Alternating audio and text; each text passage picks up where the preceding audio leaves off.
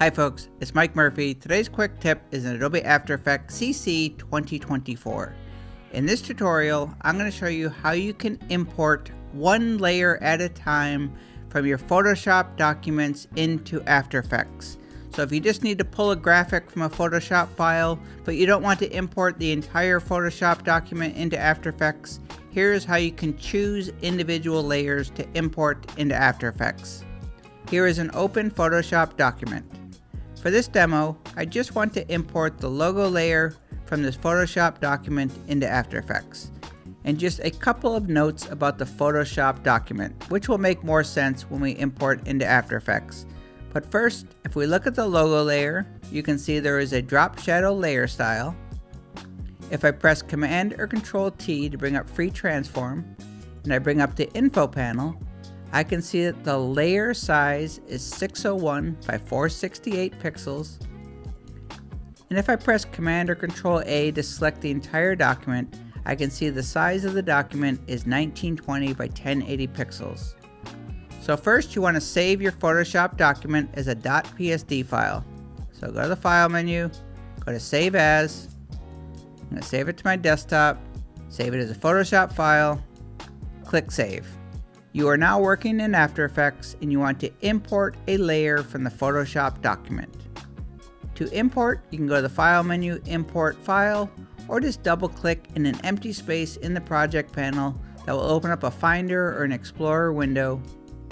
Select the .psd file, go down to where it says Import As, and you're going to choose Footage. Footage is the only option out of these three where you can choose individual Photoshop layers to import. I'll keep Create Composition and Photoshop Sequence unchecked and then click Open. So Import Kind is the same menu as the Import As, so we're going to keep it as Footage.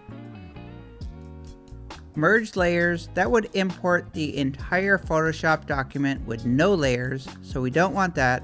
We're going to tick the radio button for choose layer, click the drop down, and now you can select which layer from Photoshop that you want to import into After Effects. And tip, the better you label your layers in Photoshop, the easier it's going to be to select the layer. I'm going to choose the logo layer. Normally I would choose the second option, but I'll keep it on merge just so you can see what it does. Footage dimensions. You have two choices, and I'm going to show you both layer size, and document size. And these sizes are referring to the layer's bounding box in Photoshop. I'll start with layer size. This is going to import the Photoshop layer the exact dimensions as it is in Photoshop. I'll click OK. If I drag it onto this composition, you can see the bounding box is the exact size of the logo. And now let's import as document size. So I'll double click to open up the import dialog box, select the .psd file, import as footage, click open. I'll choose the layer, only this time I'm going to select the character layer.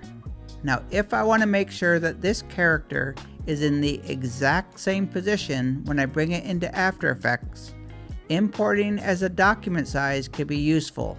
I'm going to make sure that document size is selected, I'll click OK. And now when I drag in that layer, you will see the bounding box is taking up the entire composition. I'll hold the shift key to make sure it stays in the center. When I let go, the character is in the exact same position. One more thing that I want to address. We chose to merge layer styles into footage. The drop shadows are visible on both the logo and the character, but if you twirl open the layers, you will not find the drop shadow effect. So if you want to edit or remove a Photoshop layer style, we'll just right click on one of the Photoshop layers, go to Open, Edit Original. I'm going to turn off the visibility of the drop shadow on both the logo and the character layers. Then I'm going to save the Photoshop document by going to File, Save, and now when I jump back into After Effects, like magic, the drop shadows are gone, and if I want to reapply them in After Effects for more control, I can just go to the Layer, Layer Styles, Drop Shadow, and that is how you can choose layers to import from Photoshop to After Effects. My name is Mike Murphy. Cheers.